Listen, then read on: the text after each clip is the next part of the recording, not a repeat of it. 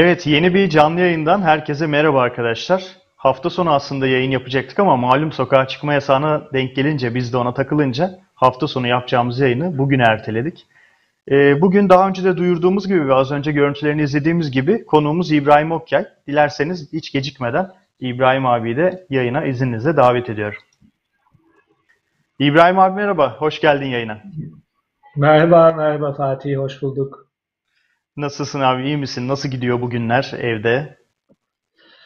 Yani e, ara sıra işe gittiğim için tabii ki daha katlanılabilir bir süreç oluyor ama buna rağmen hani bu kadar çok evde vakit geçirmek alışık da olmayınca biraz insanı zorluyor. Evet, e, garajda işler nasıl gidiyor sizin bu süreçte? Malum yarış da yok. Yarış yok ama biz zaten e, sezonun şu anda hazırlık döneminde olduğumuz için yarıştan önce yapılması gereken birçok işimiz var. İyi bir sezon demek, iyi bir sezon öncesi hazırlık anlamına geliyor. Bu yüzden e, ekibi biz de tüm e, mümkün olan önlemleri alarak e, vardiya şeklinde e, çalışma saatlerini azaltarak, sosyal mesafeyi koruyarak küçük bir ekiple devam ediyoruz. İkinci M4 yarış otomobilimiz geldi. Onun hazırlıkları var. E, dediğim gibi yani aynı tempoda olmasa bile dikkatli bir şekilde e, çalışmaya devam ediyoruz. Evet en azından e, şanslısınız bir yandan hayat devam ediyor. Birçoğumuzun hayatı durdu. Gerçekten e, evde oturmak başta bir iki hafta insanlara e, hoş geliyor, güzel geliyor. Böyle bir herkes ekmek yapma derdine düştü. Ama e, yani birkaç hafta sonra gerçekten psikolojik olarak zor bir süreç e, hepimiz için. Ama tabii ki inşallah öncelikle sağlıkla atlatırız bu süreci. E, bu sezon GT4'ü takip ediyorsunuz bildiğim kadarıyla. E, aslında GT4 e, takvimi de bu anlamda çok e, öncü bir hareket yaparak e, daha birçok seri hiçbir şey açıklamamışken, hiçbir acil önlem planı açıklamamışken bildiğim kadarıyla GT4 e, bir takvim ve buna bir alternatif takvim de açıkladı. E, biraz evet. senden dinleyebilir miyiz abi bu sezonu? Evet evet e, GT4 zaten e, aslında SRO Blancpain gibi birçok dünyanın önemli yarışlarını organize eden bir e, grup. ve GT4 de yine Blancpain gibi önemli yarışlarla birlikte yapıldığı için açıkçası oldukça profesyonel yaklaşıyorlar, davranıyorlar. Bizim normalde Nisan sonu Mayıs'ın ilk haftası sezonumuz başlayacakken bunu yaklaşık bir ay ileri aldılar ve ilk yarışımız 26 Haziran'da Hollanda'da başlayacak. E, ve bütün ilk 6 yarışlık takvim açıklandı. Buna alternatif olarak da eğer Haziran'ın sonuna kadar yine e, beklenen olumlu gelişmeler olmazsa, karantina süreçleri devam ederse e, A ve B planları da var. Yani Haziran yarışının ileriye ertelenmesi ve bir sonraki ikinci yarışında ileri ertelenmesi gibi iki alternatif ile takvimi ilan ettiler. Bu tabi bütün takımlar için çok iyi oldu. Biz de A ve B planına göre programımızı yapıp hazırlıklarımızı e, ona göre organize edebiliyoruz. Evet güzel yani böyle bir önden çalışma olması gerçekten herkes için hem takımlar için hem bu seriyi takip eden spor severler için gayet güzel. Ee, biraz seriden bahsetmişken ee, sizin takımla ilgili de bahsedelim. Kars'taki sizin kar ve buz etkinliğinizde Cem Bölükbaşı'nın takıma transfer olduğunu açıklamıştınız. Ee, yanında Yağız da bildiğim kadarıyla devam edecek. Ee, ikinci M4 yarışacak mı GT4'te? Evet, e, GT4'te bu sene e, üçüncü sezonumuz olacak. E, ilk sezon biraz öğrenme sezonuydu. Her yeni şampiyonaya girdiğimizde Artık klasik oldu bu ama gerçekten de öyle oluyor. Yeni otomobil, yeni ortam, yeni rakipler, yeni mücadele, e, yeni kurallar derken ilk sezon biraz böyle işin e, püf noktalarını çözmekle vakit harcıyorsunuz. İkinci sezonda yani geçen yıl hedefimiz podyuma çıkmaktı ve daha çok puan toplamaktı ki bunu İtalya'da e, podyuma çıkarak bir anlamda hedefimize ulaştık ve ikinci sezon, sezonumuzda çok daha yüksek puanlarla sezonu tamamladık. E, bu sene 3. sezonumuzda artık e, ilk 5 içinde sezonu bitirmek istiyoruz. İddialı olmak istiyoruz. Bu nedenle iddiamızı da arttırmak, takımlar e, şampiyonası için daha e, fazla puan da toplayabilmek adına iki otomobille yarışacağız. 5 e, tane sporcusu var Borusan Otomotiv Motorsport'un şu anda. E, ben varım, Levent Kocabıyık var, Fatih Ayhan var ve genç sporcularımız Cem Bölükbaşı ile Yağız Gedik var. E, Yağız ve Cem tüm sezonu takip edecekler. E, iki otomobilde mi birlikte olacaklar yoksa iki otomobilin birinde mi birlikte olacaklar? Bunu biraz ileriki günlerde açıklayacağız. E, fakat onlar tüm sezonu takip edecek. Biz diğer üç pilotla yarış programına göre daha iyi bildiğimiz pistlerde Cem'e ve Yağız'a eşlik ederek sezonu tamamlayacağız. Şimdi Cem'le ilgili de aslında çok soru gelmişti yayından önce. Biraz Cem'e ayrı bir e, sayfa açmak istiyorum. Malum yani sanaldan gerçeğe e, projesinin gerçekten çok çok çok iyi bir örneği Cem. Cem'le e, hikayeniz nasıl başladı? Onu nasıl keşfettiniz? E, ilk testleriniz, ilk yarışlarınız nasıl geçti? Biraz Cem'i dinleyelim. Ee, öncelikle hani Cem'le yollarımız nasıl kesişti dersek e, bir kere Türkiye'deki bütün genç sporcuları elimizden geldiğince yakın takip ediyoruz. E, aktif olarak yarışan olsun ya da daha önce dönemde yarışmış özellikle kartingde mücadele etmiş ama şu anda imkanı olmadığı için yarışamıyor olan olsun. Bütün genç sporcuları gerçekten e, izlemeye, tanımaya, anlamaya çalışıyoruz Borsan Otomotiv Motorsport olarak. Fakat bildiğiniz gibi 2008 yılında biz Borsan Otomotiv Motorsport'u kurduk. Ondan sonra 2015 yılında BOM Akademi'yi kurduk. Ve bunun devamında da 2018 yılında BOM E-Team'i kurduk ki hani bu da aslında e, Türkiye'de bir ilk oldu. E-Team kurulunca tabii ki elektronik sporlara ilgimiz daha da bir arttı. Ve burada biraz eğitimle ilgili aslında ilk başta Cem'le bir arada e, sohbet ve tanışıklığımız daha ilerledi. Zaten radarımızda olan bir isimdi çünkü her ne kadar sanaldan gerçeğe yarış pistlerine Borusan Otomotiv ile geçmiş olsa da aslında 5 yaşından beri e, motosiklet, motocross'tan başlayarak sonra karting, 25.5 adam vesaire e, motorsporların hep içinde olmuş e, bir gençti, bir delikanlıydı. Fakat biraz imkanlar, biraz koşullar onu e, daha e, e-sporlar üstünde profesyonelleşmek e, durumunda bıraktı. Ama gönlü hep e, aktif olarak yarışmaktaydı.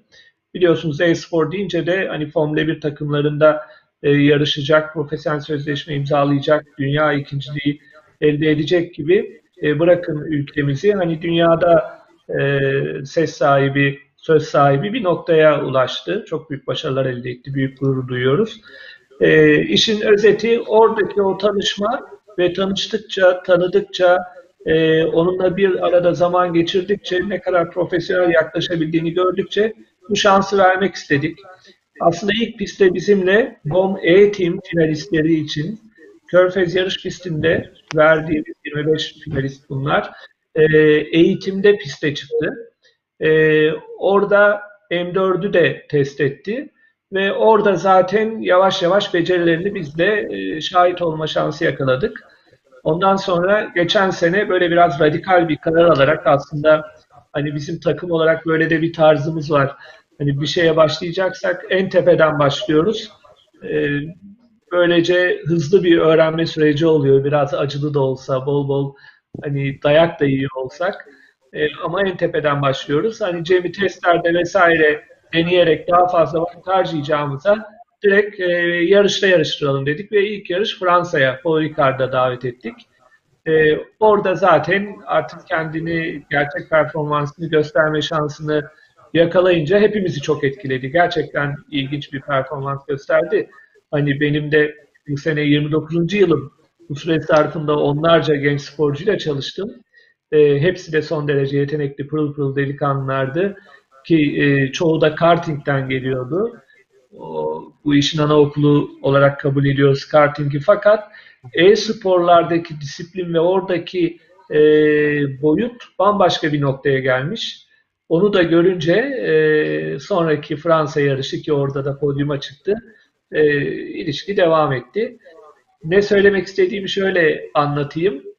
E, sen arada e, ara vermem gerekirse ne olur devreye gir. Paul Ricard da ilk kez piste çıktı. İlk turunu atacak Cem. Çıktı ve ilk turunda en iyi tur zamanını neredeyse attı. Tabii çok şaşırdık hepimiz. Biz hani daha önce yarıştığımız bir pist bile olsa e, bir hatırlamak için bir 3-5 tur şöyle bir virajlara bakarsın. Ha şöyleydi böyleydi. Neyse inince Cem dedim nasıl oluyor bu? Nasıl yaptın yani turu da hani ilk kez çıkıyorsun. Işte. Abi dedi ben bu pistte dedi bilmem kaç bin tur attım dedi. Aynı dedi simülatördeymiş. Fark göremedim dedi. Şimdi o zamanı atmasa bu sözü benim için çok bir anlam ifade etmeyecek. Ha, evet tabii tabii ben de kullanıyorum.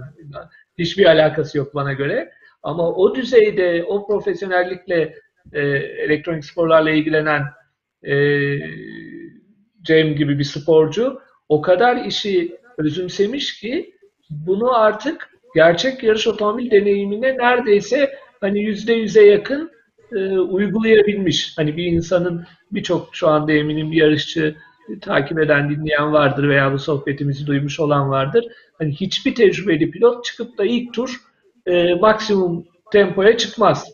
Ama e, çok çok tanıdığım bir pist değilse e, Cem'in yaptığı antrenmanlar e, simülasyonda hiçbiri e, boşa gitmiyormuş. Evet aslında bu e-sporla ilgili gelen en büyük eleştirilerden biri de genelde insanlardan şu oluyor yani evet e, yani çok önemli bir etkinlik gerçekten çok değer verilmesi kıymet verilmesi gereken bir e, ortam ama e, normal yaşantıyla yani normal yarışlarla çok da alakası yok aslında ikisi bambaşka iki tane şey derler e, eleştirenler ama e, yani Cem aslında bütün bu tabuları yıkmış e, bu noktadaki tecrübesi ve ortaya koyduğu dereceleriyle. Yani ben de biraz hani geleneksel ya da hafif eski kafalı bir pilot diyebilirsin bana e, geldiğim dönem itibarıyla. Bu kadar etkili olduğunu ben de çok kabul etmiyordum. Belki 5 yıl önce, 10 yıl önce bu kadar etkili de değildi. Ama bugün bakıyorsun e, işte Formula 1 pilotları bile hatta neredeyse WRC pilotları bile boş zamanlarında e, simülatörde testler, hazırlık dönemleri geçiriyorlar. E, demek ki artık bu iş e, bir anlamda motor sporlarının ayrılmaz bir parçası olmuş. Evet çok doğru. Aslında bir de pist yarışlarında iş biraz daha farklı. Çünkü rally oyunlarında ya da simülasyonlarında diyelim e, yarışacağınız birebir aynı etabı geçmeniz mümkün değil ama e, pistlerde durum böyle değil. E, yarışmadığınız bir pistin, pistte daha öncesinde bu simülasyonda e, geçtiğiniz zaman gerçekten ciddi anlamda e, faydası olduğuna ben de eminim. Bu noktada biraz da aslında sizin BOM eğitimden bahsedelim. Az önce bir cümle arasında bahsettin abi ama benim de notlarımın arasındaydı. Ee, bunu biraz daha detaylı konuşalım istiyorum. Çünkü çok kıymetli bir iş yaptığınız. Ee, hem çok kişiye e, bir ortam sağlıyorsunuz. Sadece birkaç kişi değil yani e-team'de yarışanlar, sizin orada mücadele edenler ve e, daha da kıymetlisi bunu e, şampiyon olan belli bir e, dereceyi elde eden kişiyi gerçek bir yarış otomobiline de bindiriyorsunuz. Bu Bomb A-Team hikayesi sizin nasıl ilerledi? Biraz da onu dinleyelim. Aslında buradaki e, ana fikir tam olarak benden ya da bizden ya da takımdan yani Borusan Otomotiv Motorsport'un içinden çıktı e, demek doğru olmayacaktır. Hep daha çok insana dokunmak, imkanlarımızı daha çok insanla paylaşmak düşüncesindeydik. Fakat e, Sayın Hakan Tiftik, e, Borsan Otomotiv İcra Kurulu Başkanı Hakan Tiftik aynı zamanda tabii ki Borsan Otomotiv Motor Projesi'nin de sorumlusu. E, o bu öneriyi getirdi. Hani daha çok insana ulaşmak, özellikle gençlere daha çok dokunabilmek adına buna yönelmemizi tavsiye etti 2015 yılında. Zaten bizim aklımızda vardı ama e, bu e, nasıl başlarız? İşte ilkleri yapmak hep risklidir. Yani Türkiye'de daha önce birçok özel turnuva yapıldı e, ama bir yarış takımı e, lisanslı bir yarış takımı olarak bunu bünyenize katıp e, takımın imkanlarını paylaşma e, bazında yapılmadı. E, dediğim gibi bu aslında Sayın Hakan Tiftik'in vizyonuyla biraz başladı ve e, inanılmaz pozitif geri dönüşler aldık o kadar çok insana ulaşabildik ki bu bizi çok heyecanlandırdı. E, biliyorsunuz bizim formatımızda 5 e, tane e, şampiyona yarışı yapıyoruz. Bütün isteyen insanlar bu yarışlara katılabiliyorlar. Her yarıştan yani 5 yarışın her birinden bir finalist çıkıyor. Daha doğrusu ilk 3 finale katılma hakkı kazanıyor. Her yarıştan 3 finalist çıkmış oluyor ve 5 yarışın sonunda da bir final yarışı yapıyoruz. Yani 25 kişiye final hakkı tanıyoruz. Ama bu 25 kişiye final yarışına çıkarmadan önce Körfez yarış pistinde gerçek otomobillerle gerçek eğitim veriyoruz. Bir kere e, bileğinin hakkıyla hani bizim seçerek değil ya da daha önce bu camianın içinde olmuş olan değil tamamen online internetten Türkiye'nin herhangi bir ilinden e, bu şansı kendi elde eden 25 kişiyi bir araya getirerek onlarla pistte bulaş, buluşmak bizler için de harika bir deneyim. Ve o 25 kişi yüzlerce hatta binlere yakın kişi içinden seçildiğinde o kadar elenmiş bir kitle geldi ki çok etkilendik tüm takım olarak. Ondan sonra o 25 kişi de e, içinden 4 tane E-Team'e e, simülatör pilotu diyeyim seçiyoruz. E, 4 tane de motor sporları eğitimi için yani gerçek anlamda sanaldan e, gerçeğe taşıyacağımız pilotu seçmek için bir 4 kişilik de e, motor sporları e, ekibi kuruyoruz. Ondan sonra onlara verdiğimiz yarış otomobilleriyle verdiğimiz eğitimin sonunda ki o 4 kişi de e, bir önceki sene Körfez'de hem M4'ü yarış otomobilimizi e, takımın şu anda bizlerin kullandığı yarış otomobilini hem de Caterham yarış otomobillerimizi kullanarak e, pilotlarla bir arada otomobile binerek hem sağ koltukta hem direksiyondayken biz onların yanında elimizden gelen tüm bilgileri paylaşarak takımın tüm imkanlarını paylaşarak içlerinden bir kişi seçtik. E, ve onu da Türkiye Şampiyonası'na yarışma şansı veriyoruz. Ki geçen sene bu şansı Tunca Gönüldaş yakaladı. E, belki takip etmişsinizdir. Türkiye Şampiyonası'nın son ayağında İzmir'de start aldı. Maxi grupta. Ve iki yarışta da e, hatasız bir performansla e, genel klasman birincisi olarak ve Maxi grup birincisi olarak podyuma çıktı. E, bu da bu insanların ne kadar bu işi yapabilecek kapasitede olduğunu ya da binlerce kişi içinden seçtiğiniz eğitimle normalde bunu realde dokunamazsınız. Bin kişiye şans vermeniz ne ekonomik olarak mümkün ne teknik olarak mümkün. Fakat elektronik sporlarında o binlerce, bine yakın diyeyim, şu anda binlerceye ulaşmadık ama bine yakın sayılardayız. E, kişi içinden eleyip 25 kişiye bu şansı verdiğinizde sonuçta zaten özel birilerini de yakalamış oluyorsunuz. Evet gerçekten Ama çok kıymetli. Sorunun kısa özeti tamamen fikir e, Borusan Otomotiv Motorsport olarak imkanlarımızı daha çok e, kişiye sunabilmek, daha çok kişiyle e, iletişim kurabilmek, onlara dokunabilmek, onların bizlere dokunmasını sağlamak yani takımla bir araya getirmek. Ana fikir tamamen bu gerçekten çok kıymetli bence. Yani kıymetli olmasının e, aslında bence iki kısmı var. Birincisi tabii ki bu kadar kişiye dokunabilmek, böyle bir imkan sağlayabilmek vesaire ama asıl bence önemli olan böyle kıymetli yöneticilerle birlikte çalışabiliyor olmak bence çok kıymetli. Çünkü bu çok yeni bir şey. E, Birçok yönetici tarafından belki e, başta bir ön yargı yak, ön yargıyla yaklaşılabilir ama Hakan Bey burada gerçekten çok vizyoner bir şekilde e, buna ön ayak olmuş. Açıkçası ben de bilmiyordum hikayenin bu kısmını. E, gayet etkilendim. Aslında bir yandan da sizin neler hissettiğinizi şöyle çok iyi anlıyorum. Biz de o zamanlar tabii bu kadar sosyal medya vesaire yoktu. Çok duyuramadık. 2007 ve 2008 senelerinde e, rally video olarak Türkiye İnternet Rally Şampiyonası düzenlemiştik. Richard Burns Rally e, oyunu üzerinden ve Castrol'i de buna ana sponsor olmaya ikna etmiştik. E, her iki sezonun sonunda da şampiyon olan pilota bir Fiesta ST verip İstanbul Mahalli Rally Şampiyonası'nda yarıştırmıştık. E, bizim için inanılmaz gurur verici bir olaydı ki o yıllarda yani e-spor diye bir kavram bile yoktu o yıllarda. Ee, ama tabii hani arkamızda çok büyük bir marka, yani Borusan Otomotiv yoktu arkamızda. hani kendi yarış otomobillerimiz yoktu vesaire. Haliyle çok uzun soluklu yapamadık. Ama şu anda e, bu sizin gibi girişimlerin olduğunu görmek e, bizi de açıkçası çok keyiflendiriyor. E, hem sizi hem de emeği geçen herkesi ben bir kez daha e, tebrik ediyorum. Elinize sağlık diyorum. Biraz da şeyden BOM Akademi'den bahsedelim. Ee, BOM sizin aslında sadece yarışıyorsunuz vesaire ama ciddi bir eğitim ekibiniz de var. Ee, sürekli eğitimler veriyorsunuz. BOM Akademi nasıl doğdu? Onun gelişimi ve şu anda neler yapıyorsunuz? Biraz onu dinleyelim. Ee, bir kere önce ben tekrar biraz önce bahsettiğin, yaptığın organizasyonu gayet yakından bilen, takip eden o dönem biri olarak hakikaten çok vizyoner bir yaklaşımdı. Son derece de başarılı, başarılıydı.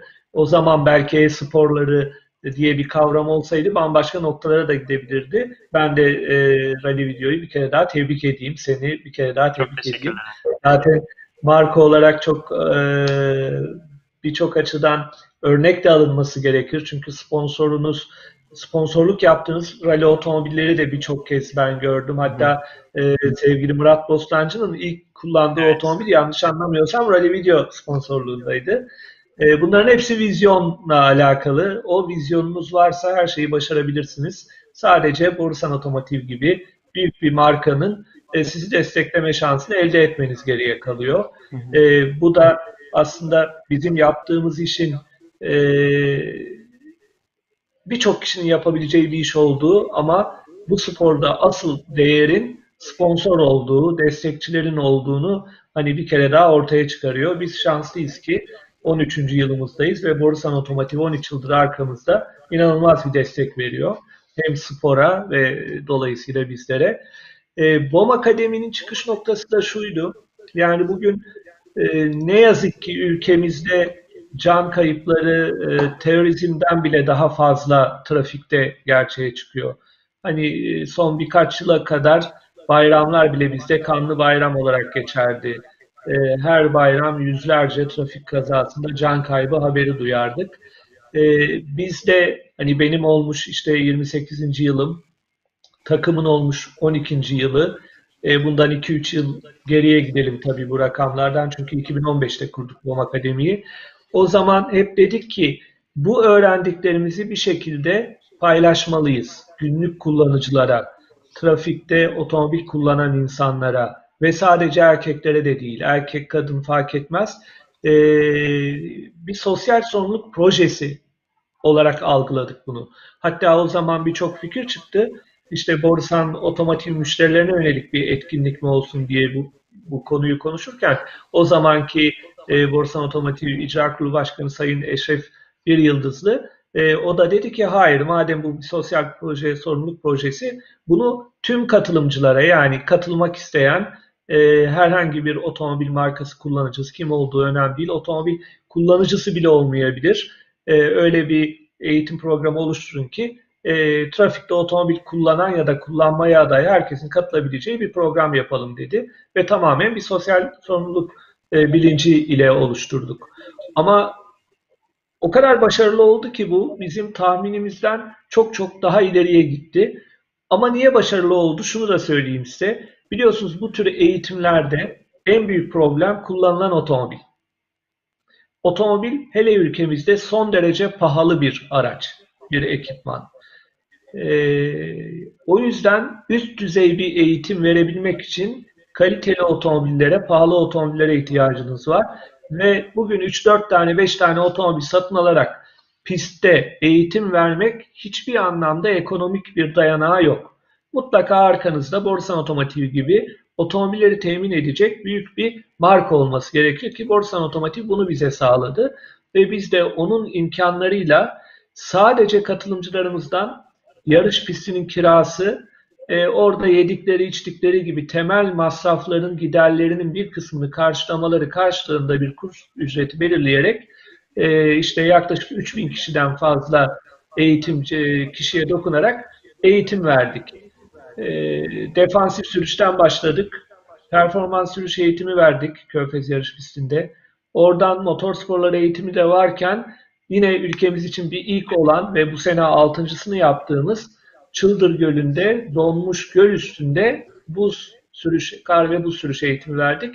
Baya böyle bir e, profesyonel bir noktaya geldi diyebilirim. Çok e, açıkçası tüm ekip, takım olarak e, büyük gurur duyuyoruz bu projeyle ve hani adım adım da her yıl büyüyerek ilerliyor.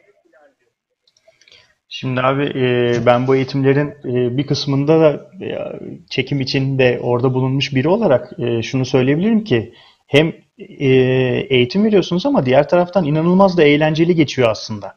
Hani böyle çok sıkıcı falan bir şey de değil. Gayet eğlenceli, insanlar mutlu. E, bu açıdan da aslında çok keyifli e, bir gün geçiyor. Ama ben bu noktada Kars'la ilgili e, biraz daha detaya girmek istiyorum. Biraz daha oradan bahsedebilir miyiz? Sanırım 6. kez bu sene düzenlenmişti yanlış hatırlamıyorsam. Evet, şimdi bir kere buz üstündeki eğitimler doğası gereği dünyadaki en e, revaçta olan eğitimler diyebiliriz. Çünkü e, gölün üstünde çarpabileceğiniz bir yer yok. E, limitlerinizi sonuna kadar zorlayabiliyorsunuz güvenle. En çok kara saplanıyorsunuz. Sizi geri çekiyoruz. Tekrar yola çıkartıyoruz ve otomobilde buz üstünde devamlı bir kayma eğiliminde olduğu için aslında gerçek hayatta otomobilin kontrolünü kaybettiğiniz zaman belki e, bir kazayla yüz yüze geldiğiniz an tehlikeli durumlarda yaşadığınız o otomobilin savrulması, kayması, kontrolden çıkması gibi durumları siz her virajda doğal olarak buz üstünde olduğunuz için yaşıyorsunuz. Birincisinde büyük korku, aman ne oluyor şimdi spin atacağım, döneceğim, dönemeyeceğim diyen e, en başlangıç seviyesindeki sürücü katılımcılarımız bile günün ortasında bakıyoruz inanılmaz kendilerine güvenirle güvenir bir şekilde direksiyon hakimiyetlerini geliştirerek kayan otomobili kontrol etmeye çalışıyorlar. E, bu tabii başka hiçbir ortamda ne asfaltta ne işte asfaltın üstüne su dökerek vesaire kaygan zemin oluşturarak sağladığımız parkurlarda kickblade vesaire hani birkaç bunun e, kullanılan yöntemi var. Hiçbirinde sağlayamayacağınız doğal bir ortam oluyor. O yüzden çok eğitici, çok öğretici ve kendi gelişiminizi gördüğünüz zaman da inanılmaz eğlenceli bir noktaya geliyor. Tabii ki burada Kars'ın hakikaten büyüleyici ortamını, Sarıkamış'ın, çam ormanlarının, Çıldır Gölü'nün, o doğa harikası bölgemizin, şehrimizin büyülü atmosferini de hani bunun bir tuzu biberi artısı olarak görmek lazım. Ee, belki bunu başka bir şehirde yapsanız bu kadar etkili olmaz. Orada gerçekten e, rüya gibi bir e, deneyim yaşıyorsunuz doğal ortamdan dolayı. Burada benim e, eklemek istediğim bir şey daha var aslında abi. E, bu hani az önce 13 yıldır Borusan'la beraber izlediniz. Bence bu çok büyük bir başarı aslında. Benim için otomobil sporlarında benim gözümden e, daha doğrusu. E, bir sportif başarı var gerçekten. O okey yani o olabilir. Yani bugün siz şampiyon olursunuz, yarın başkası şampiyon olur, başka bir gün başka biri şampiyon olur. Okey ama yani bir birlikteliği bu kadar uzun yıllar boyunca sürdürmek bence apayrı bir başarı sportif başarıyla ifade edilemeyecek kadar farklı bir şey. Ee, bu ilişki nasıl yürüyor böyle? Yani bu kadar uzun süre bu birlikteliğin bir sırrı var mı? Nasıl başarıyorsunuz bunu? Ee, ya Fatih aslında burada gerçekten e, ana aktör Borusan Otomotiv. Borusan Otomotiv e, çok e, entelektüel kimliği olan e, birikimi olan bir marka. Hiçbir işe küçük hesaplarla girdiğini görmedim. Bu spora girerken de aman bir yarışa girelim işte haber yapalım, basın bültenleri, işte lansmanlar bir harcayalım, 5 lira geri alalım gibi yaklaşımda olmadılar. Zaten Borusan Holding'in sanata verdiği bugüne kadar destekleri hepimiz biliyoruz. Borusan Otomotiv de e, aynı desteği sanata zaten veriyorken spora da vermeye karar verdi. Ve spora verirken de alakalı olduğu sektör otomotiv olduğu için bir e, yarış takımı kurması son derece mantıklıydı. Ve bu takım kurulduğu günden beri bize gösterdikleri yol hiçbir zaman gidin işte markayı daha fazla tanıtın, daha fazla reklam yapın, daha çok bilinirlik elde edin değil. Spora e, bir şeyler katın, gençlere destek olmaya çalışın, edindiğiniz tecrübeleri müşterilerle paylaşın. Yani bu işin e, yarışmak kadar sosyal yönünü de ön planda tutmayı öğrettiler, yol gösterdiler. İyi günümüzde de kötü günümüzde de hiçbir zaman bu e, yaklaşımlarından vazgeçmediler. Çünkü motor sporlarını biliyorsunuz. Çok iyi yarışlarınız ya da dönemleriniz olduğu gibi çok kötü dönemleriniz de oluyor.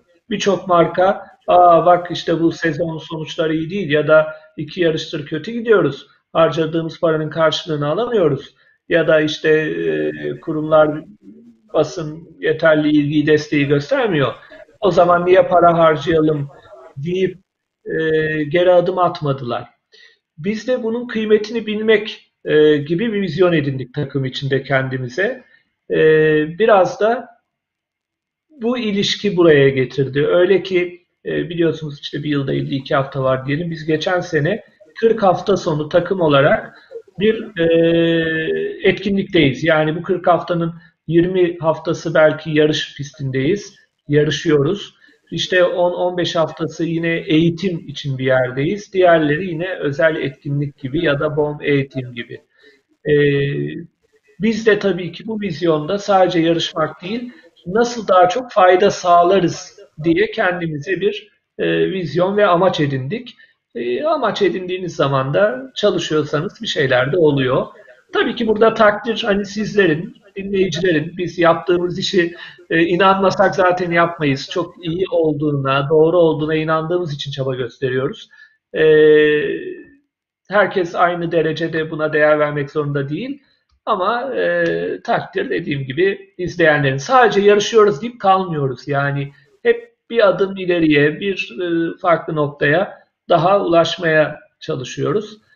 E, hatta konu gelirse işte BOM Akademi dedik, BOM Eğitim dedik. Şu anda da 2020'de BOM Karting takımı diye bir projemiz var.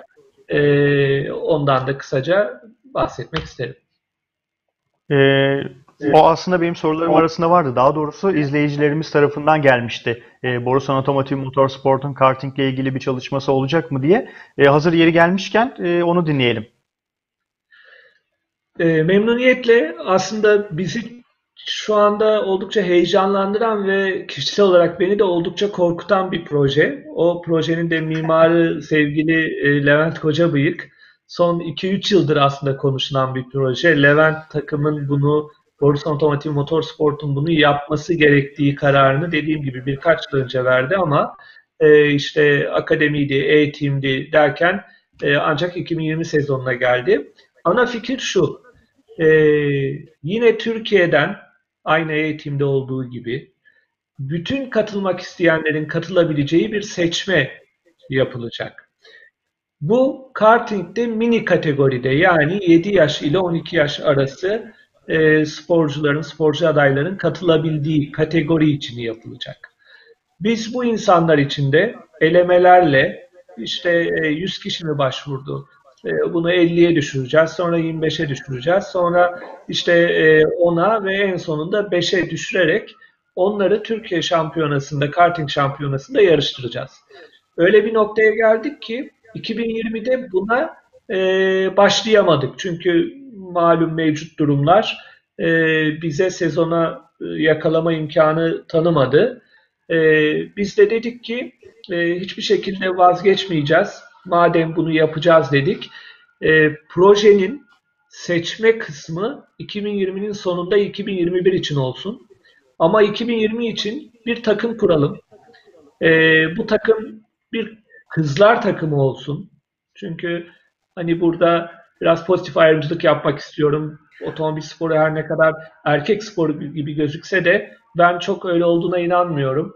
Ee, ve üç kişiden oluşan bir kızlar takımı e, oluşturduk, proje ettik. Araçları, ekipmanlarımızı hazırladık. E, her şeyle hazırız. Bunun detaylarını, isim vesaire şu anda vermek istemiyorum. Çünkü e, onun için belki küçük bir tanıtım e, daha onlara özel bir ortam sağlayabiliriz ama en azından şu anda 3 tane genç kızımızla 2020 karting şampiyonasında Borusan Otomotiv Motorsport karting takımı yarışacak, mücadele edecek. Ama 2021 için dediğim gibi tamamen herkese açık olan, hiçbir ücret ödemeden katılabilecekleri e, bir e, seçmeyle başlayan program olacak. Evet çok güzel bir haber. Karting bu işin dediğimiz gibi her zaman anaokulu. E, bu noktada şimdi bir soru daha var. Bir yandan onu takip ediyorum yorumlardan. Borusan Otomotiv Motorsport olarak tek marka kupası düzenleme planınız var mı diyor bir izleyicimiz.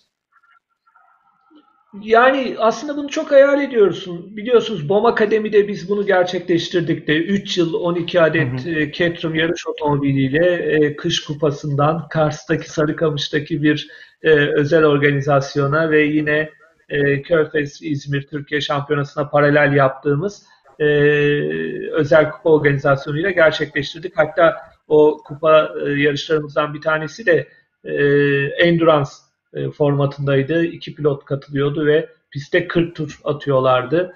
E, hafta sonu seedingler, antrenmanlar derken 60 tura 70 tura yakın tur atıyorlardı. Hakikaten e, son derece başarılı bir e, organizasyondu. E, bunu yapmak istiyoruz ama şöyle bir problemimiz var. Bunu kendi markamızla yapmak istiyoruz. BMW ile yapmak istiyoruz. Bugün BMW ile yaptığınız zaman işte kap otomobili dediğiniz M235i BMW Motorsport'un hazırladığı kap otomobili. Ben bu otomobilleri Türkiye'de özellikle amatör sporcuların Körfez pisti gibi, İzmir pisti gibi son derece küçük, son derece yetersiz, son derece tehlikeli pistlerde kullanmalarının doğru olmadığına inanıyorum. Bu lafın ne olur yanlış anlaşılmasın. Hiçbir kişiye, hiçbir kuruma bir eleştiri değil. Ben Körfez pistinin, İzmir pistinin ayakta tutunmak için ne büyük çabalar, ne büyük mücadeleler, ne büyük fedakarlıklar hem maddi hem manevi hem e, Otomobil Sporları Federasyonu tarafından hem özel işletmeciler tarafından verildiğini gayet iyi biliyorum. Dediğim gibi bu hiçbir kurum ya da kişiyle alakalı eleştiri değil. Ben ama gerçeklerden bahsediyorum. Bugün BMW'nin kap otomobili dediğiniz 300-350 beygirden başlıyor.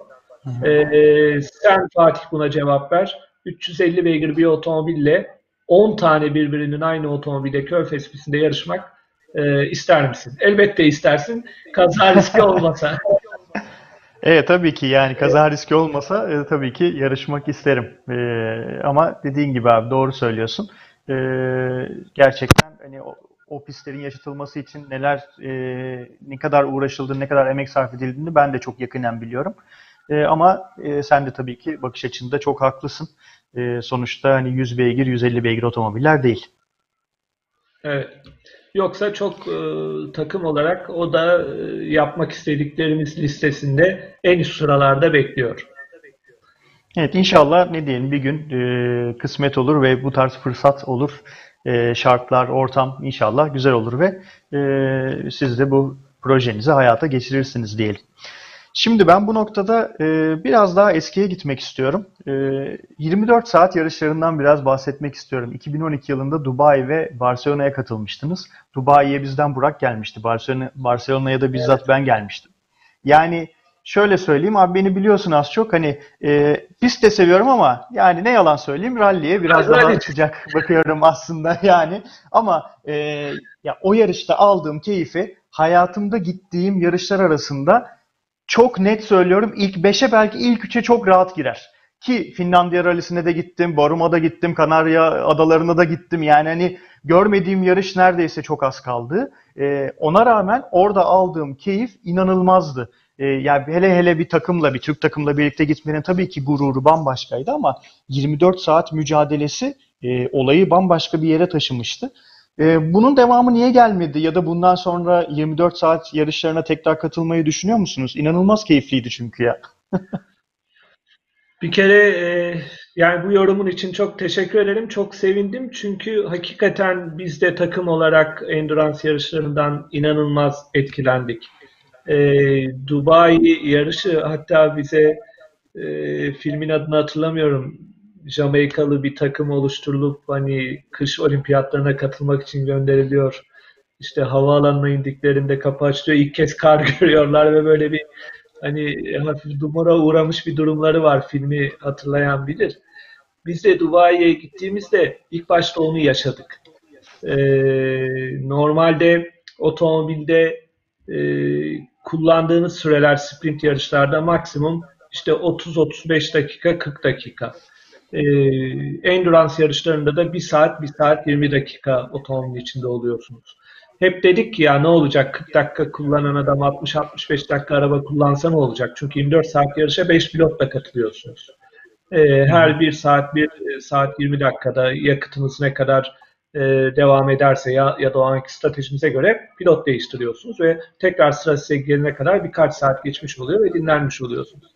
Fakat bu iş öyle değil. Bir kere otomobil inanılmaz ısınıyor. Yani siz resmen hani altında ateş kaynayan bir tencerenin içinde yarışıyor gibi oluyorsunuz. 2-3 saat sonra otomobilin içinde şaft yuvasına falan elinizi değdiremiyorsunuz. O kadar aşırı bir ısınma oluyor. İkincisi e, devamlı terlediğiniz için vücudunuzun bir direnci var. Eğer sıvı kaybınızı kontrol edemezseniz böyle e, performans eğriniz 30-35 dakikadan sonra resmen uçurumdan yere çakılıyor gibi bir hızla e, düşüyor. Yani 40 dakika 5 dakika gibi geçiyor. 40 dakikadan sonraki her dakika 1 saat gibi geçiyor.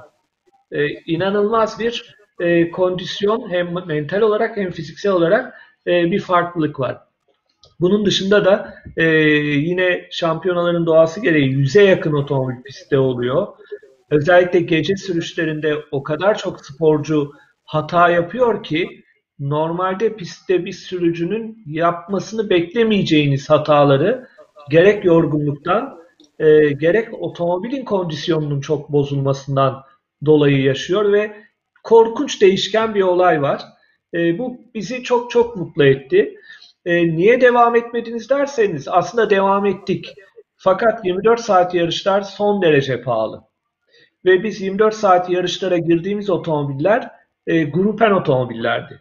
Grup otomobillerle Dubai 24, Barcelona 24, Macaristan 12 saat gibi yarışları yaptıktan sonra anladık ki endurance yarışını en profesyonel, en üst seviye endurance otomobille yapacaksınız. Çünkü başka otomobil mekanik olarak dayanmıyor. Bunun için de Z4'ü seçtik.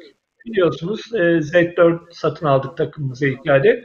Fakat bunun da yürütme maliyeti o kadar yüksek ki sonuçta biz bir Türk takımı olarak bir bütçe yani her takımın var ama tabii ki Türk takımı olarak bütçemizin %99'unu sadece tek bir marka Borsan Otomotiv karşıladığı için e, belli bir bütçe limitimiz var. Ve e, Z4'de e, GT3 Endurance Spec otomobilimizde 24 saat yarış yapma fırsatı yakalayamadık. Bunun yerine İtalya 3 saat Endurance yarışına girdik. Ve biz o seriyi iki buçuk sene takip ettik. Hatta üç sene takip ettik. Hatta 2015'te de e, hem genel klasmanı hem gold kategorisini kazanarak şampiyon sezonu bitirdik ki birçok GT3 otomobillerle birlikte bizimle yarışan e, prototip sınıfı Endurance Spec otomobiller de vardı. Orada aslında biz başladığımız işi şampiyonlukla tam olarak bitirdik. E, gündemimizden hala çıkmadı. Bugün Borsa Otomotiv Motorsport'un sportif anlamda en büyük hayali nedir diye bana sorarsanız sanıyorum bu cevabı diğer takım arkadaşlarım da aynı şekilde verecektir. E, Dünya Dayanıklı Şampiyonası ve bir Le yarışı diyebiliriz. Yani VEK'e katılmak. Gerçekten hayallerimizden bir tanesi bu. E, hatta M8 ilk çıktığında çok heyecanlandık bunun için. Fakat M8 bir müşteri otomobili olmadı ve şu anda da M8'de de devam etmiyorlar Dünya Dayanıklı Şampiyonası'na. Ama BMW bu e, kategori için bir otomobil yapar, bu seriye müşterileri için de otomobil hazırlarsa biz de Borusan Otomotiv Motorsport olarak orada olmak için e, tüm imkanlarımızı zorlayacağız. Belki bütün diğer şampiyonaları GT4 Türkiye Şampiyonası vesaire geriye koyup e, sadece VEC'te belki VEC'in belli yarışlarında yarışmak için e, çaba göstereceğiz. Bu tabii ki parantez içinde sadece benim alabileceğim bir karar değil. E, kararların hiçbirini takımda tek başımıza almıyoruz. Borusan Otomotiv yöneticilerimizle ve takım arkadaşlarımla birlikte alıyoruz ama Hani bunun biraz da ortak fikrimiz olduğunu bildiğim için söylüyorum. Ee, dediğim gibi kesinlikle hedeflerimizin içinde yani e, şeyimizden çıkmadı. Evet bunu duyduğuma sevindim abi. Aslında bir Le Mans 24 saat yarışı gerçekten efsane olurdu. Buna eğer olur da e, girmeye karar alırsanız abi lütfen önce ben e, hiçbir yere duyurmasanız bile haber istiyorum. Ben biletimi her şeyimi kendim ayarlayıp ben gelmek istiyorum. Orada sizinle olmak istiyorum. Çünkü gerçekten inanılmaz bir keyif. Ee, bir yandan bir de şunu sormak istiyorum. Bu 24 saat yarışları ile ilgili böyle enteresan bir anınız var mı? Yani eminim çok vardır ama böyle hiç unutamadığın 24 saat yarışlarından e, bir anın var mı? Yani bir, bir anım var. Hangisini anlatsam bilmiyorum ama örneğin şimdi otomobilde e, konsantre olmuş çok yüksek hızda maksimum tempoda turlarınızı atıyorsunuz ama o kadar sıcak olmuş artık 45-50 dakika e, biraz bir hani bir nefes vermek istiyorsunuz. Biliyorsunuz otomobil sporunun en büyük zorluğu basket gibi futbol gibi sporlarla e, farkı işte baskette şutu çekersiniz geriye koşarken ya da ne bileyim futbolda out olduğunda ya da back sporcuysanız top gelene kadar hani bir, bir an bir beklersiniz bir soluklanma anınız vardır. Ama otomobil yarışında bu yoktur. Hani starttan finişe maksimum kondisyon hem zihinsel hem fiziksel e, her şey maksimum çalışması gerekir. Endurance'da da tabii bir noktadan sonra ya bir şey olsa da bir nefes alsam diyorsunuz. Ve e, Dubai'de hiç unutmuyorum işte e, kod 60 bayrağı sallandı. Kod 60 biraz safety car evet. gibi demek oluyor bu. Bir anda içime bir mutluluk sardı. Tamam dedim şimdi bu 3 tur safety car'la dönsek hani bir nefes alırız.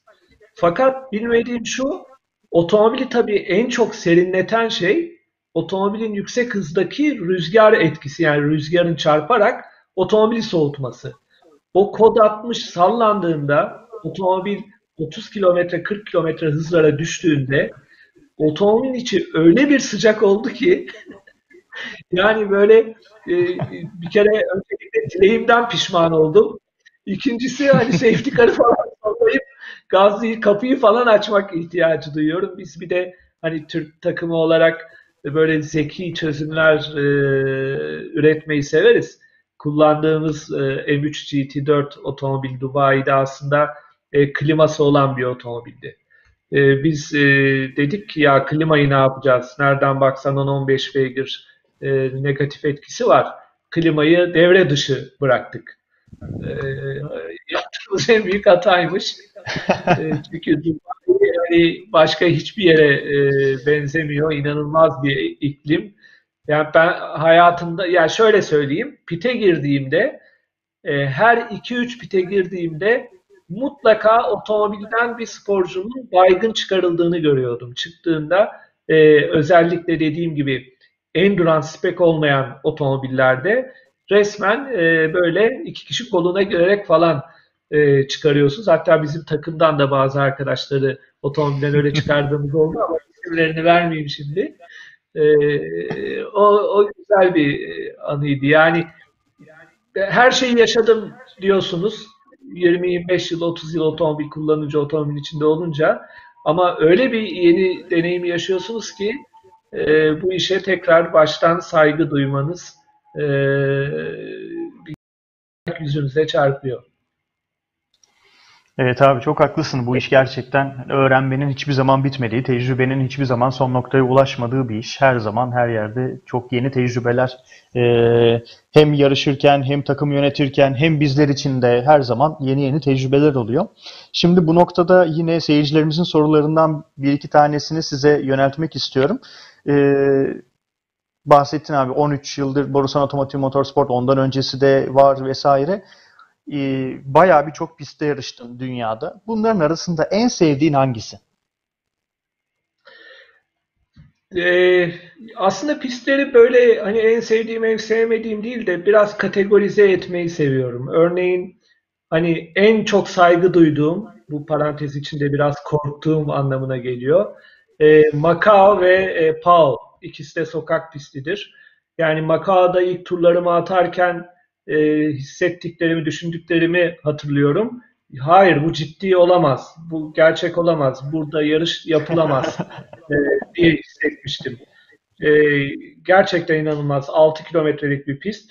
Kaldırımların, binaların, işte otellerinin neredeyse lobisinin kapısının 5 metre yanından falan dönülen virajlarla e, geçilen bir pist. Efsanevi bir pist. Zaten hani her virajda bir motosiklet sporcusunun ya da bir otomobil e, yarışçısının orada hayatını kaybetmiş ismiyle, nickiyle anılan bir e, pist. Orada çok etkilenmiştim. Yine Fransa'daki Pau pisti, o da bir sokak pistiydi. E, o da çok etkilendiğim, yani çok saygı duyduğum e, ve keyif aldığım pistlerdi. Ama onun dışında mesela e, Çek Cumhuriyeti'nde Bruno pistini e, çok severim. Imola e, ayrı bir pisttir e, benim gözümde. Ee, Brezilya'da mesela yarıştığımda Curitiba çok beni etkilemişti. Yine Meksika'da e, bir pist vardı ki aslında normalde NASCAR gibi oval pist olarak yapılmış. E, hızlı virajları oval pistin uçlarından dönüyorsunuz ama sonra daracık sert virajlarla e, normal sprint yarışlar için upgrade edilmiş ya da ayarlanmış diyeyim. O kadar karma bir pist ki hani kafanızdaki pist tanımını değiştiriyorsunuz. Dediğim gibi hani ama cevabım herhalde bir numarayı Macao ile Imola arasında e, tercih ederim. Evet abi yani o kadar güzel pistler saydın ki yani burada her birini hayal ederek e, ben bile keyif aldım. Şimdi buna paralel bir soru daha var aslında. Bir tane de unutamadığın bir araç var mı? E, yani yarışırken en çok keyif aldığın ya şununla yarışmak da çok keyifliydi dedin?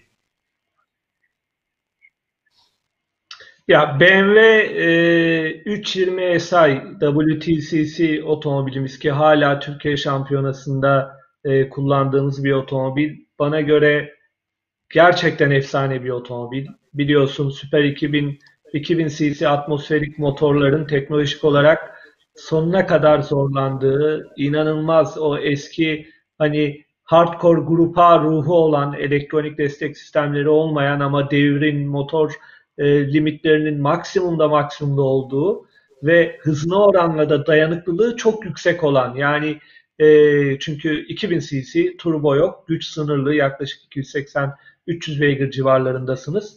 Ama mekanik olarak Grup A yani bir WRC ya da bir GT3 otomobille aynı altyapıya sahip. O yüzden inanılmaz bir yol tutuşu var.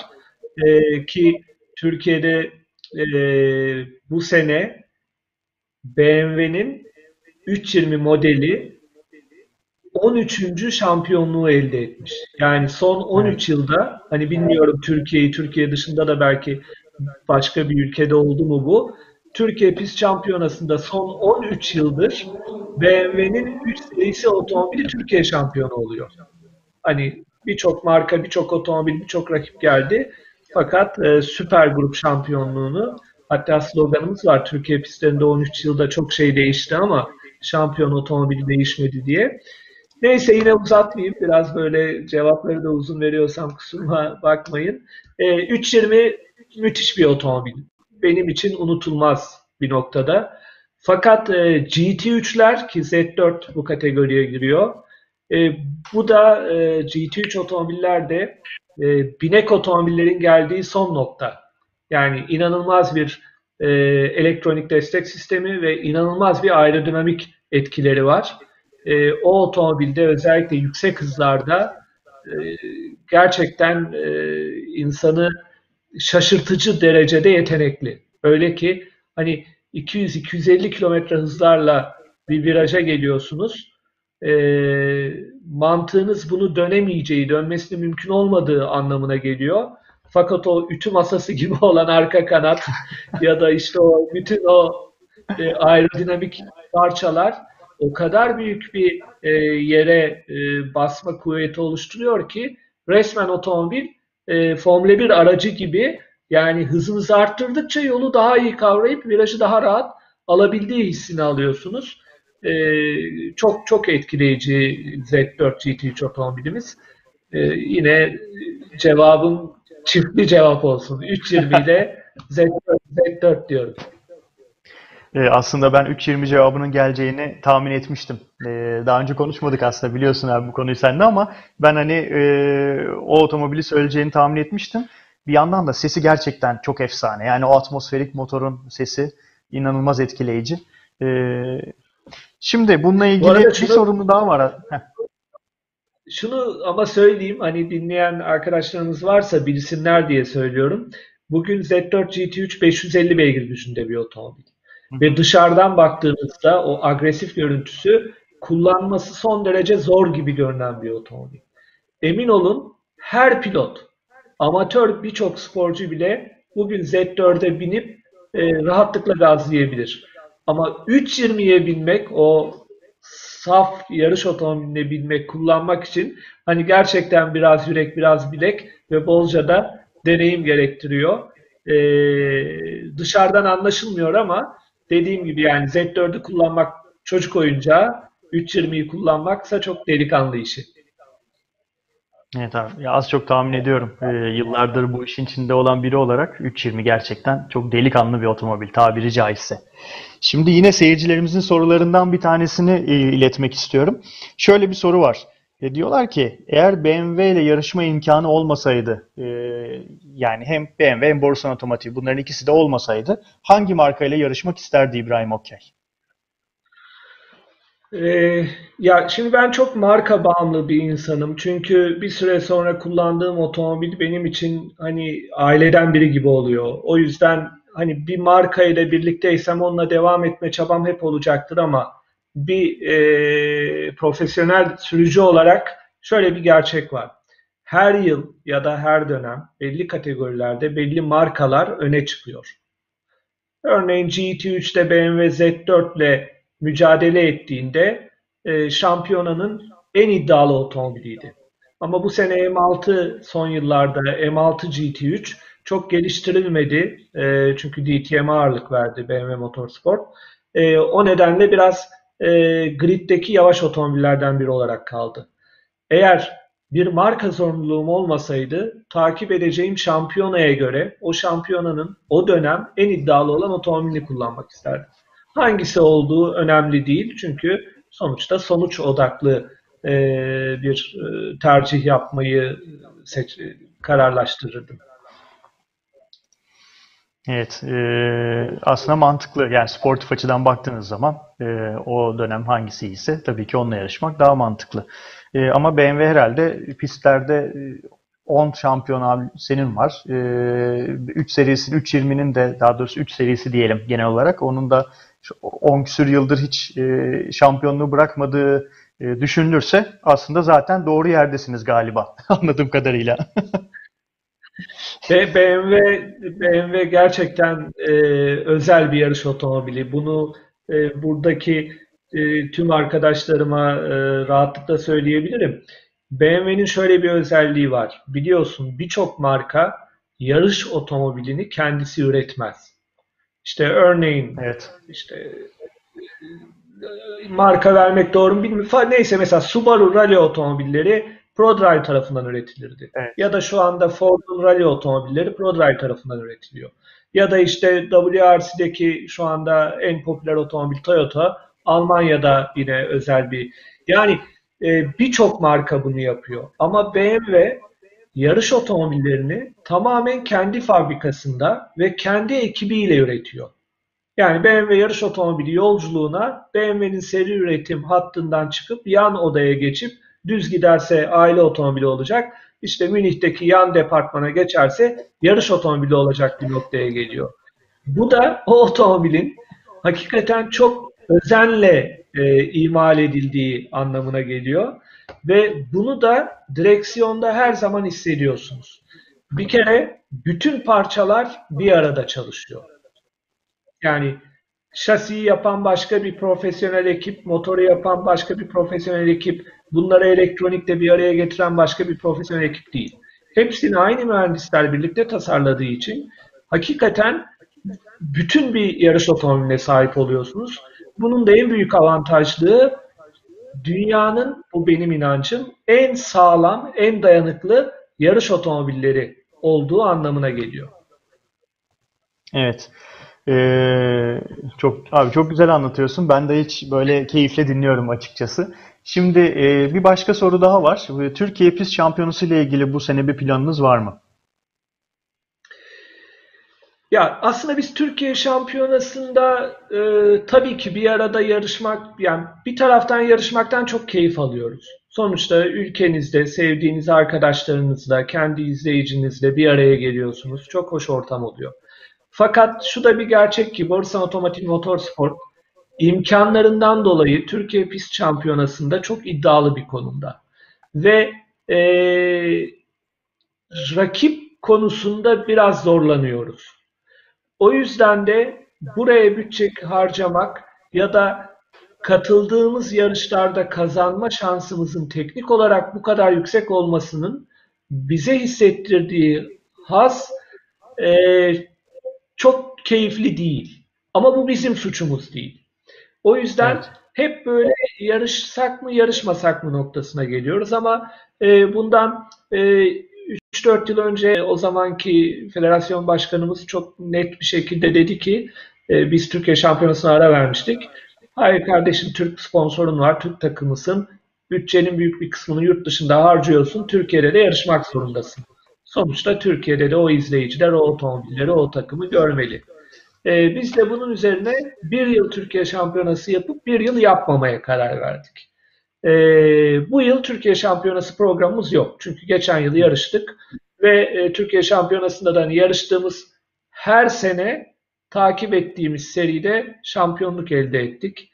Ee, burada biraz samimi söyleyeyim şöyle bir durum da oluyor endişe ediyoruz antipatik olmaktan.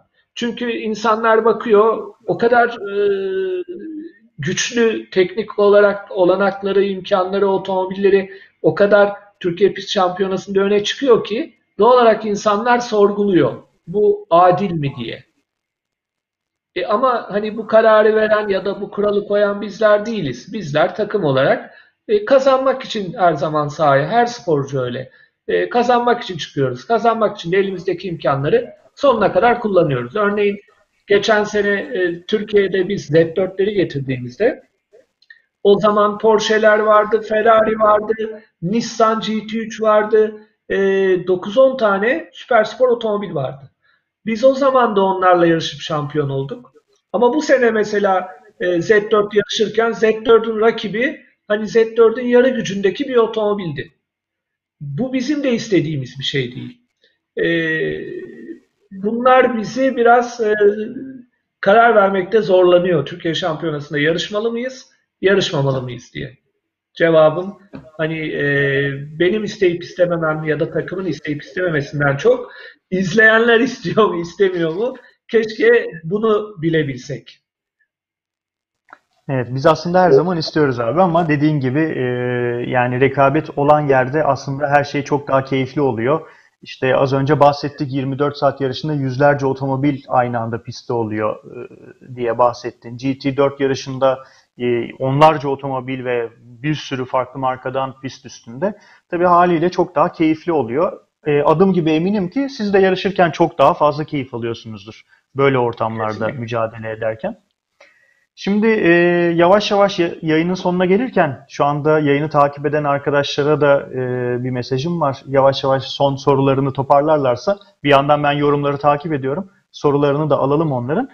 E, benim bir tane sorum olacak. E, aslında bir önceki yayın konuğumuz Burak Çukurova'ydı. Burak Çukurova da e, çok eski yıllarda Tipo Cup'ta mücadele etmiş. Daha sonra da V1'de e, mücadele etmiş ama aslında rallici kimliğiyle bizim tanıdığımız bir pilottu ve ona e, hem pist bir ucundan da olsa pist yarışı yapmış hem de rally yarışı yapmış biri olarak hani bu ikisini nasıl değerlendirirsin gibi bir soru gelmişti. Ee, aslında abi bu noktada da e, benzer bir soruyu ben sana iletmek istiyorum. Çünkü aslında sen de çok kişi şu anda yeniler çok bilmese de e, eskiden rally yapıyordun sen de. Hatta ben bununla ilgili e, biraz dersime çalıştım. Hemen şuradan eski fotoğraflarını çıkardım abi. evet, evet. 92. Evet. E, bir de senden dinleyelim abi. Burak Çukurova'dan dinledik. Şimdi sıra sende. Rally, e, hatta az önce gördüğümüz fotoğraf Şahin Tepe tırmanma e, yarışındandı. Bu ikisini e, sen kıyaslayacak olursan e, neler söylersin? Gerçekten e, rally benim hayatımda da spor, motor sporları hayatımda da önemli bir yer tutuyor. Rally yaptım tırmanma yarışı yaptım. Hatta e, rallide Atatürk Rally Kupası diye işte Kıbrıs ve GAP gibi birkaç yarışın oluştuğu bir turnuva, turnuva demeyeyim. O yıl için Atatürk Rally Kupası e, diye bir şampiyona organize edilmişti. O şampiyonayı da kazanmıştım Proton e, yani Mitsubishi Evo 3 diyelim ama Proton diye geçiyordu. E, yani bayağı üst seviye hatta ondan sonra e, Stroyan takımında sevgili Ercan Kazaz'da takım arkadaşı olarak WRC'de de Super 1600 Citroen'le yarışmıştım. O da oldukça üst seviye e, bir mücadeleydi. Hatta işte takım olarak resim çektirirsek yani Citroen'in o zamanki takım kadrosu WRC'ye gelen Türkiye e, rallisine Carlos Sainz, Colin McRae, e, Sebastian Loeb, biz de yanlarında Ercan Kazaz, İbrahim Okey olarak böyle bir e, şeyimiz var, anımız da var. Cevabım şu, çok samimi söyleyeceğim. E, ne olur rallici arkadaşlarım kızmasın. Rally çok keyifli, çok eğlenceli. Fakat rallide e, ne yazık ki doğal koşullar nedeniyle eğer bir hani WRC'deki ilk onda mücadele eden hatta ilk on bile değil ilk beşte mücadele eden fabrika pilotu değilseniz hiçbir zaman yüzde yüz gitmeniz mümkün değil. Çünkü e, bir parkurda not bile çıkarsanız Türkiye şampiyonasını bilmiyorum ama uluslararası bir rallide not bile çıkarsanız ilk 20 otomobil geçtikten sonra o parkur bambaşka bir noktaya gidiyor. Doğası değişiyor. Bırak doğayı iklim değişiyor. Yani havada toz kalıyor, taşlar, bütün toprak, oyuklar o kadar değişiyor ki her zaman bir marş bırakmanız gerekiyor. Bu piste alıştıktan sonra benim için kabul edilebilir bir şey değil. Yani ben o kadar %110 gitmeye alışmışım ki pistte. %90 otomobil kullanmak gibi bir mantık benim için arabanın içinde can sıkıntısı gibi geliyor. İkinci konu pistlerde en çok heyecan veren e, ya da adrenalin yükselen yükselten durumlardan biri rakibinizle olan kişisel mücadeledir. Rally'de daha çok mekanik ve doğayla savaşıyorsunuz. Ama rally'de yandaki otomobili kullanan insanla savaşıyorsunuz. Hatta bu öyle bir savaş oluyor ki şampiyonada da bazen hani bunu burada söylemek ne kadar doğru bilmiyorum. Ne kadar profesyonel yaklaşsanız bile bir önceki yarışta size karşı tavrını beğenmediğiniz bir sporcuya daha farklı bir tavırla mücadele bile gösteriyorsunuz. Bu olayın boyutunu, işin mental yönünü, sinir harbini ya da adrenalini bambaşka bir boyuta e, getiriyor. E, bazen de bir viraja 8-10 otomobil aynı anda girdiğinizde e, o kadar çok değişkenle e, mücadele etmiş oluyorsunuz ki hani ben bunu başka bir ortamda, başka bir otomobil spor disiplininde yaşamanın e, çok kolay olmadığını düşünüyorum. Yani ben pistçiyim artık. Abi onu biliyoruz. o çok net aslında şu anda. Ama yani şu açıdan çok mutluyum. Çünkü e, mesela senden bu sorunun cevabını dinlediğimiz zaman çok farklı bir bakış açısını dinliyoruz. Burak Çukurova'dan dinlediğimiz zaman çok farklı bir bakış açısı dinliyoruz. Bu da aslında bu sporun zenginliğini gösteriyor. Yani e, işte motor sporları e, tek bir branştan oluşsaydı bu kadar keyifli olmazdı muhtemelen. Rally'nin zevki ayrı, pistin zevki ayrı, offroad'un belki zevki ayrı. Yani karting var, drift var vesaire. Çok fazla e, branşımız var. Ne mutlu bize ki bu kadar fazla branş var. Zaten burada aman yanlış anlaşılmasın ben bir motorsporları otoritesi falan değilim. Yani öyle bir e, sözlerim e, bir sav ya da bir iddia değil. Ben İbrahim Okey olarak kişisel sporcu kimliğimle hissettiklerimi paylaşıyorum. Hiçbir şekilde bunlar doğru olmak zorunda değil. Hani ben pist daha iyi, rally daha kötü böyle bir şey kimse diyemez. Ee, dediğin gibi bir diğeri çıkar Rallycross'ta Burak'la o yaşadığı hani böyle e, ya da işte NASCAR'da çarpana kimse ceza vermiyor. Ee, öyle durumlar var ki hani kimse neyin iyi neyin kötü e, olduğunu söyleyemez. Yani bu ancak kişisel hissiyatlar olabilir. Tabii ki tabii ki zaten yani eğer tek bir doğru olsaydı herkes o branşta yarışırdı. Yani işte örnek veriyorum işte en iyi pist olsaydı herkes pistte yarışırdı. En iyi rally olsaydı herkes rallide yarışırdı ama bu kişiden kişiye e, değişen bir şey. Herkesin kendi zevki, kendi keyfi olduğu için e, o yüzden tabii ki herkesin doğrusu kendisi için tabii ki doğru. E, bunu da zaten kesinlikle kimse yargılayamazdı. Yani kime kimseye e, neden pist yapıyorsun e, diyemeyeceğimiz gibi neden rally yapıyorsun da kimse diyemez tabii ki. E, ama burada bir e, arada bir parantez açacağım. Hani e, şeyden bahsettin abi. Hani yarışlarda adrenalin birebir böyle tampon tampona mücadele, lastik lastiğe mücadele. Bununla ilgili de bir soru geldi aslında. E, onu da tam bu noktada sormak istiyorum. E, diyorlar ki İbrahim abi tam anlamıyla karakteriyle, kişiliğiyle örnek bir insan. Yarışlarda sakin tutumunu nasıl koruyor? çok teşekkür ederim bunu hangi arkadaşımız söylüyorsa. E, bu, bu bunun çok genel kanı olduğunu düşünmüyorum çünkü pistlerde çoğu zaman agresif kullandığım için eleştiriliyorum. E, sakinlik bunu tecrübeyle bağdaştırabiliriz. Hakikaten bu sene 29. sezonum hiç ara vermeden yarıştığım e, 244 yarış start almışım. Hatta not ettim arada notlarıma bakıyorum yanlış bir şey söylemeyeyim diye. Yani 244 e, tane start almışsanız ki bunların büyük çoğunluğunda uluslararası yarışlar biraz duygularınızı, hislerinizi kontrol edip, nabzınızı kontrol edip, adrenalinizi, heyecanınızı kontrol edip daha mantıklı davranabilmeyi öğreniyorsunuz. Hani cevabım bu. Yoksa hiç dışarıdan göründüğü gibi değil. Ben de her gride dizildiğimde, o ışıklar yanmaya başladığında e, aynı ilk spora girdiğim gün hissettiğim endişeleri, korkuları, kaygıları e, ya da çılgınlıkları e, her şeyi hissediyorum. Sadece artık daha iyi kontrol edebiliyorum diyeyim. E, örnek davranış konusunda da e, hiç bu konuya önem vermiyorum. Ben sporcuyum. Kendime göre de belli bir profesyonel bakış açım var. Piste çıktığım zaman o an neyin doğru olduğunu düşünüyorsam onu davranıyorum. Yani kim ne der, kim ne yapar. Yani birisine çarpmam gerekiyorsa çarpıyorum çarpmamam gerekiyorsa çarpmıyorum. Yani e, öyle iyi çocuk olmak ya da aklı başında biri olmak gibi bir e, vizyonum yok. Çok iyi abi. Çok, çok güldüm. Çarpmam gerekiyorsa çarpıyorum kısmına. Gerçekten çok güldüm. Şimdi öyle ama e, yani ne yazık ki ne yazık ki yani belli GT4, WTCC, ETCC yani buralarda mantık bu. Yani eğer bir viraja girerken birine yaslanmak, hafif dokunmak avantaj sağlayacaksa hiç kimse gözünün yaşına bakmıyor vallahi yani. Evet evet yani özellikle o seriler gerçekten çok çok farklı. Şimdi bir soru daha var aslında biz bu sorunun biraz cevabını verdik. Yani rekabetin daha üst seviyelerde olması daha hani herkesin istediği şey diye ama ben yine de iletmiş olayım. Ee, şöyle bir soru. Ee, Ülkemizin ekonomik koşulları daha iyi olsaydı Borusan Otomotiv Motorsport gibi bir iki takım daha görür müydük? Bir de e, Borusan Otomotiv Motorsport da bunu ister miydi? Mesela Doğuş Otomotiv Lamborghini gibi bir markanın Türkiye'de satışını yapıyor.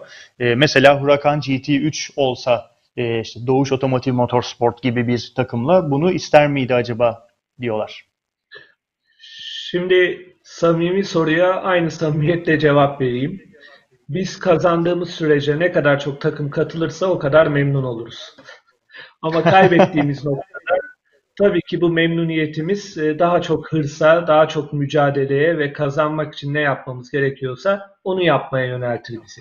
Mutluluğumuzu azaltsa da takım olarak ilerlememize destek olur. Yani bu da cevap olarak e, Türkiye'de standart ne kadar yükselirse bu bizi takım olarak o kadar ileriye götürecektir. O yüzden ben öncelikle kişisel olarak bunun olmasını çok isterim. Ama aynı zamanda bir takım yöneticisi olarak da tekrar söylüyorum e, her zaman kazanmak isterim. O yüzden de o mücadeleye girerken e, bunun artısını eksisini mutlaka masaya yatırırım. Evet, çok samimi bir cevap oldu abi. Gerçekten samimiyetin için çok teşekkürler. E, ufak ufak artık yayının sonuna ge- geliyoruz. E, eklemek istediğin, mutlaka bahsetmek istediğin bir şey varsa onu alalım. E, ben şunu e, anlatmak isterim, söylemek isterim. Birkaç sözle takım arkadaşlarımı, ekibimi e, burada e, dillendirmek isterim. Hakikaten takım olarak çok çabalıyoruz. Elimizden gelenin en iyisini yapmak, yaptıklarımızı bir adım öteye götürmek için. Çok şanslıyız ki e, devamlılık arz eden çok büyük, çok güçlü bir sponsorumuz var ve e, Borusan Otomotiv gibi. Aynı zamanda da yine çok özel BMW gibi bir markayı e, temsil ediyoruz. O yüzden bütün ekip inanılmaz e, büyük bir motivasyonla çalışıyoruz. İşte küçük bir ekibiz biz, çok büyük bir ekip değiliz. Ama bütün işi kendi mutfağımızda yapıyoruz e, şunu herkesin bilmesini isterim ki uluslararası yarışlarda takım olarak daha başarılı olabiliriz. Bazı hizmetleri, daha profesyonel hizmetleri satın alarak, hatta belki profesyonel pilot kullanarak gittiğimiz şampiyonalarda çok daha iddialı olabiliriz. Fakat biz hiçbir zaman bunu tercih etmedik. Hiçbir zaman pilot odaklı bir takım olmadık. Her zaman önceliğe takımın kendisini, Borsan Otomotiv Motorsport'un kendisini koyduk. Bugün biz dünyanın neresine gidersek gitsin, lojistik operasyonumuzdan, tır şoförümüzden, mekaniğimizden, yöneticimizden herkes bir Türk. Bu doğru yanlış demiyorum. Sonuçta uluslararası arenada başarı istiyorsanız belki bu yüzde yüz doğru olan değil. Ama biz Türkiye'de henüz öğrenmek, bir şeylerin yapılabilirliğini göstermek, ispatlamak noktasında olduğumuz için e, bütün enerjimizi buraya harcıyoruz. E, bugün işte BOM Akademi diyorsunuz, onun başında projeyi yöneten Ahmet Köseleci var. BOM Eğitim diyorsunuz, o projenin başında onu yöneten Elif Tanca var. İşte Borsa Otomotiv Motorsport'un başında e, pilotluk dışında e, elimden geldiği kadar kararları vermeye, yönetmeye çalışan kişi benim. Mekanik ekip şanzımanından motoruna bütün mekanik kısmını söküp takıp revize eden e, sadece BMW Motorsport'ta yapılması gereken e, revizyonlar dışında her işi kendi mutfağında yapan işte Recep Özaltın yaklaşık e, 20 senedir benim mekanik ekibimin başı. Yani e, tamamen bir takım olarak var olmaya çalışıyoruz. O yüzden hem ben bütün ekip arkadaşlarıma burada hani tekrar teşekkür etmiş olayım hem de bizi izleyen, e, takip eden e, bütün herkesin de bunun bir kere daha e, akıllarında tutmasını e, rica etmiş olayım. Evet abi gerçekten e, takımınız çok güzel insanlarla dolu. E, ben de her zaman yarışa geldiğim zaman ya da bir etkinliğe geldiğim zaman hiçbir zaman açıkçası bir iş gibi hiçbir zaman hissetmiyoruz. Bir aile gibi sizinle beraber çalışmak. Biz de çok keyif alıyoruz. Buradan da e, tüm takım elemanlarını, sizin takımın her bir ferdine e, selam olsun diyelim. Ee, Teşekkür çok teşekkür ederim abi yayına katıldığın için. Değerli vaktini e, aldık. E, çok güzel bir sohbet oldu. Samimiyetin için de çok teşekkür ederim. İnşallah bu salgın e, en kısa sürede ortalıktan kalkar. E, pistlerde de görüşmeye devam ederiz. Kaldığımız yerden devam ederiz. E, çok teşekkür ederim yayın için. Ben, ben ben teşekkür ederim Fatih. Gerçekten seninle zaten bir projede olmak ya da bir arada olmak her zaman çok keyifli. Ben de ilk fırsatta bu evde kal hashtaglerinin piste kal olarak değişeceği günleri talep ederek, umarak e, tüm takip edenlere de buradan teşekkür ediyorum. Çok teşekkürler abi. İyi akşamlar. Evet arkadaşlar, bir yayının daha sona, sonuna geldik. Üçüncü yayınımız oldu sizlerle birlikte. Ee, sanıyorum buradan takip edebildiğim kadarıyla yayının şöyle bir birinci saati falan gibi bir ufak kesinti oldu galiba. Açıkçası neden olduğunu e, buradan ben takip edemedim. Daha doğrusu bir uyarı bana çıkmadı ama eğer öyle bir kesinti olduysa kusura bakmayın. E, kendiliğinden de geri geldi anladığım kadarıyla. Velhasıl kelam bu karantina gününde, salgın günlerinde e, bir yayının daha sonuna geldik. Takip eden, izleyen, soru soran herkese çok teşekkür ediyoruz. E, mutlaka videoyu beğenmeyi ve kanala abone olmayı unutmayın. E, ve o yandaki çan düğmesine de tıklamayı e, unutmayın. Ki yayınladığımız videolarda önce sizin haberiniz olsun. Ve bu yayınlarla ilgili gerek konu gerek konuk önerileriniz varsa bunları da şu yan taraftaki sohbet kısmına değil de e, aşağıdaki yorum bölümüne yazarsanız oradan takip etmesi çok daha kolay ve oradan etkileşimi sürdürmesi çok daha kolay. Tekrar herkese iyi akşamlar diliyorum. E, sağlıklı günler diliyorum.